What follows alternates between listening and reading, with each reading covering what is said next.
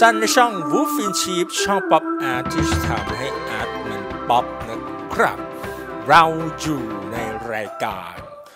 โสตประสาทแดก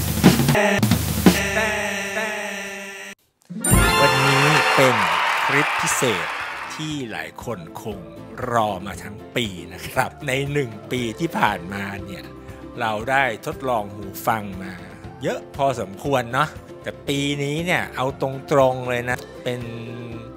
การทดลองหูฟังที่ไม่ค่อยเจอน่าประทับใจมากๆ แบบโอ้โหสักเท่าไหร่ อาจจะเป็นจังหวะที่หูฟังเนี่ยไม่ได้ออกตัว flagship กันมาเพราะว่า flagship ออกกันไปปีที่แล้ว เพราะฉะนั้นปีหน้าเนี่ยน่าจะเป็นจังหวะที่ flagship หลาย ๆ ยี่ห้อออก เพราะฉะนั้นปีนี้เราก็เลยต้องมาเผชิญกับแบรนด์ที่ระดับ mid range เยอะ แต่ไม่เป็นไรเราก็ยังตัดสินคัดเลือกออกมานะครับ จากหูฟังทั้งปีที่เราได้รีวิว แต่ว่าต้องบอกก่อนว่า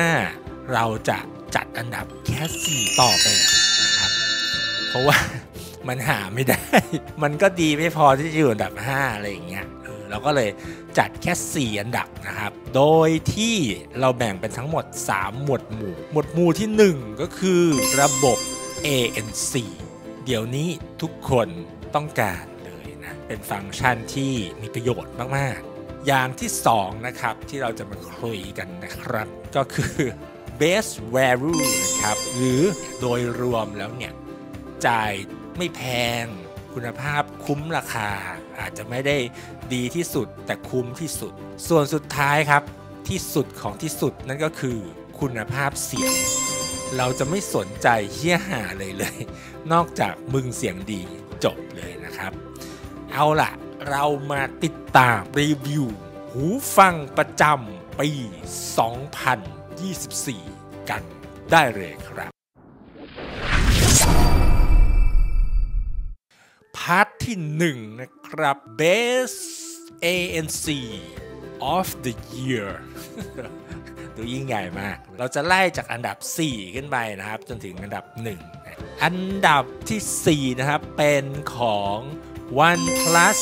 Nord Bud 2 ตัวนี้ถ้าเกิดใครดูเรารีวิวนะ จริงๆแล้วตัวนี้เป็นตัว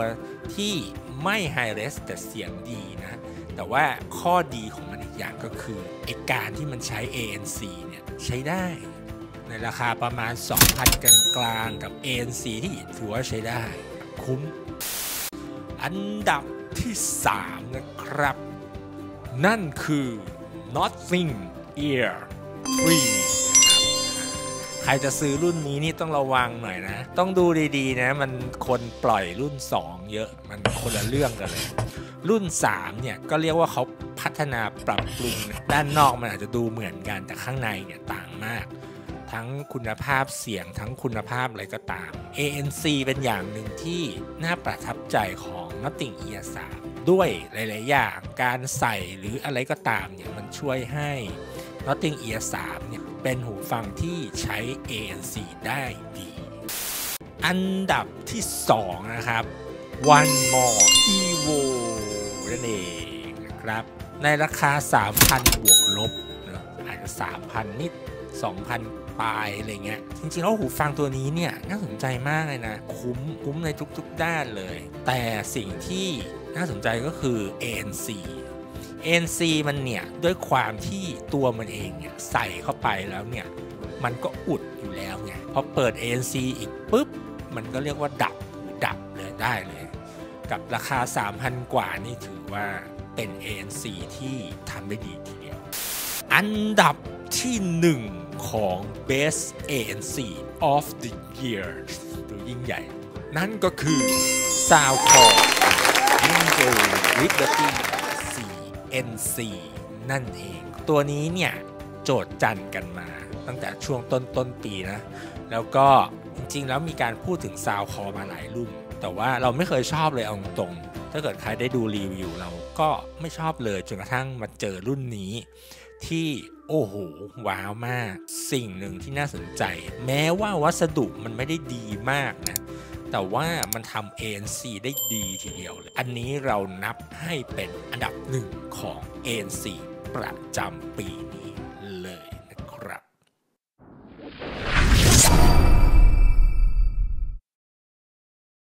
อย่างที่ 2 เรามาคุยกัน อันนี้คือ Best Value of the Year 2024 ครับผม Best Value คืออะไร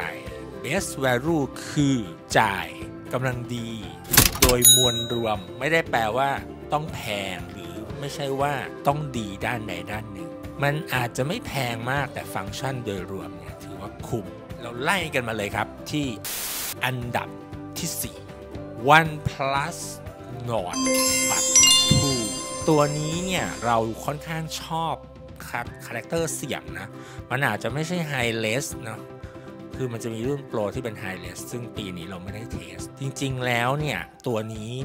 เสียงมันค่อนข้าง clear ดีเลย เราชอบโดยที่ถ้าใครไม่ต้องมานั่งสนใจเรื่องไฮลง Hi-Res อะไรเนี่ย ถือว่าใช้ได้ แล้วก็มี ANC ที่ใช้ได้ สิ่งสำคัญก็คือเสียงเสียงเนี่ยมันมีความเป็นริทึมิกอันนี้เป็นเสียงที่เราส่วนตัวคือเราชอบ รู้สึกว่ามันไม่จำเป็นจะต้องโอ้โหไฮเลสดุเดือด มวลมวลสารแน่นอะไรอย่างนี้ถ้าจะขาดก็คงเรื่องไฮเลสที่หลายคนอาจจะติด อันดับที่ 3 ครับ Nothing Here A รุ่นน้องมาใหม่ล่าสุดนะครับเป็น เรียกว่าแตกยอดมาจาก Nothing Ear 3ตัวนี้เนี่ยดียังไง ในราคาประมาณ 3,000 ปลาย อาจจะดูรู้สึกมันเหมือนสูงไปนิดนึง แต่ว่าด้วยวัสดุด้วยความคอมแพคของมันนะ การใส่ที่มันสะดวก ถึงแม้ว่าเคสอะไรเงี้ย มันจะเป็นร้อยขนแมวได้ง่ายนะ แล้วก็ซื้อมาแล้วเราก็ต้องรีบใส่เคสกันไปเลย แต่ว่าสิ่งที่มันน่าสนใจคือ เสียงที่ดีมาก มันจะไม่เหมือนกับตัวอื่นๆ ที่เราพูดถึงกันมา มันมีความ punchy แล้วก็เรียกว่า balance เสียงมาได้อย่างดี มี EQ ให้นิดหน่อยนะมันกักเอาไว้สำหรับรุ่นตัว Nothing Ear 3 มี LDAC ด้วยชอบคุ้มค่าในราคาประมาณ 3,000 กว่า อันดับที่ 2 ครับ One More Evo ตัวนี้เนี่ย ถือได้ว่า รบเครื่องมากๆนะในราคาประมาณ 2,000 ปลาย 3,000 ต้นอะไรประมาณนี้ เป็นหูฟังที่ครบมาก วัสดุการประกอบเนี่ยดีมากเลยนะ ดีแบบ เราเคยพูดไว้ว่ามันเนี่ยสามารถเทียบกับโซนี่ได้ ขนาดนั้น สิ่งที่ติดก็อาจจะแบบมันดูเป็นผู้หญิงอย่างเดียวนะ แต่เสียงเนี่ยดีดีเลย เก็บรายละเอียดได้ดี เวทีเสียงกว้าง แล้วก็ยังมี EQ ให้ปรับ มันเหมือนกับทำเสียงมาให้กลางพอแล้วแน่นพอมีเสียงแน่นมาพอแล้ว คุณอยากได้อะไรก็ EQ เอาปคุ้มตัวนี้ อันดับที่หนึ่งครับ เป็นใครไปไม่ได้นอกจาก Soundcore บาย a n g e l โ NC ตัวนี้เนี่ย อาจจะมีความรู้สึกว่า วัสดุบางเบาไปหน่อยก้องแกงไปหน่อยแต่ว่างานประกอบเขาดีนะ แต่วัสดุมันอาจจะดูเบาๆเลยแต่ความคุ้มค่าอยู่ตรงไหน ความคุ้มค่าอยู่ที่เสียงมันดี เสียงมันกลาง แล้วก็ฟังก์ชันต่างๆ ในการทัชในการปรับอะไรพวกนี้ในการใช้ชีวิตประจำวันเนี่ยมันง่าย ANC ก็ดี เรียกว่าใช้งานทุกอย่าง transparency ก็ทำได้ดีด้วย เรารู้สึกว่ามันสามารถ ใช้ในชีวิตประจำวันได้ครบถ้วน อันนี้คือความคุ้มค่า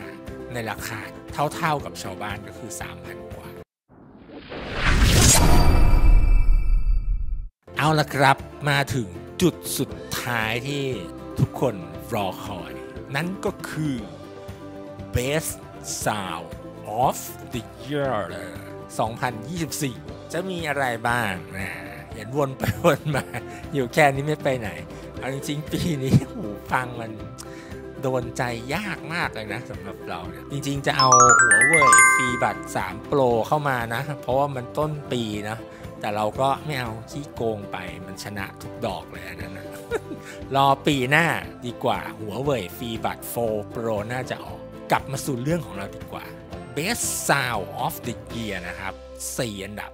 ได้แก่ อันดับที่ 4 นั่นคือ One More Evo นั่นเองนะครับ ในราคา 3,000 บวกลบ เสียงเนี่ยมีมวลเสียงที่ดีเลย แข็งแรง มิติเสียงกว้าง สิ่งที่ชอบน่าจะเป็นเรื่องมวลเสียงแหละอันดับที่ 3 ครับ Soundcore by Liberty for NC ตัวนี้ที่เราชอบเพราะว่าเสียงเนี่ยไม่หวือหวากลางกลาง เรียกว่าไปได้หมดทุกแนว ย่านต่ำมีความนุ่มนุ่มแบบไม่ได้นุ่มเล็กแต่นุ่มมีมวลเสียงกลางเพราะตัวนี้ถือว่าดีเราใช้อยู่พักนึงเลยทีเดียวนะอันดับที่ 2 ครับ อันนี้ประทับใจใช้อยู่พักนึงเลยเหมือนกัน นั่นก็คือ Nothing Ear 3 ครับ โอ้โห ไม่น่าเชื่อใช่ไหมแต่ ต้องเชื่อ เพราะว่าเปิดมาแล้วเพาะเลยอะ่ะเราจำได้ความรู้สึกที่เราเปิดมาแล้วใส่หูแล้วกดภาพแล้วแบบเฮ้ย มันผิดคาดอะจากความที่แบบดูถูกดูแคลนมา มันรู้สึกแบบไม่เคยรู้สึกว่ามันดีอะไรเงี้ยแล้วพอมันเปิดมาแล้วมันหูคือความหูของเราเนี่ยต้องบอกก่อนว่ามันเบสอยู่บนมันแฟลตมากเลย เปิดออกมาเนี่ยเสียงทุกย่านเนี่ยมันชัดเจน มีพันชี่ที่ดีไปหมด ติเสียงที่ดีมาก โดยไม่ต้องไปแตะอะไรมันเลย ย่านต่ำเนี่ยก็จะชัดเป็นเม็ดเม็ดเลยปุ๊บปุ๊บปุ๊บปุ๊บปุ๊บย่านกลางเพาะปุ้งใช้อยู่พักหนึ่งเลย แล้วยังจะ EQ ได้อีกนะ EQ ก็จะละเอียดกว่า Nothing Ear A รุ่นเล็กใช่ไหมมันก็จะมีครบหรือมันจะมีระบบ Sound ID อะไรของมันอะแต่เราไม่ได้ใช้หรอกเราก็ใช้ปกติเลย EQ เอาเองถือว่าเป็นหูฟังที่เสียงดีแบบ น่าสนใจในปีนี้เลยนะ อันดับที่หนึ่งที่ทุกคนรอคอยครับ อันนี้นอกตารางที่สุดแล้ว เหมือนทุกๆปีก็จะมีตัวนอกตาราง นั่นก็คือตึมตึมตรึมซัมซุง Galaxy Bud 3 Pro จริงๆแล้ว Galaxy Buds 3 Pro เนี่ยทำไมไม่อยู่ในหมวดอื่นเลยวะ เพราะว่ามันเฮี้ยทุกอย่าง เช่น ANC ก็เฮี้ย จะบอกว่ามันคุ้มค่าก็ไม่ได้คุ้ม ด้วยราคาก็แบบ 7,000แฟกชิปใช่ป่ะ เจอเซลล์หน่อยก็ 5,000 อะไรเงี้ย อยู่ราวๆเนี่ยราคา ความคุ้มมันก็เลยจะเรียกว่าคุ้มก็ไม่คุ้ม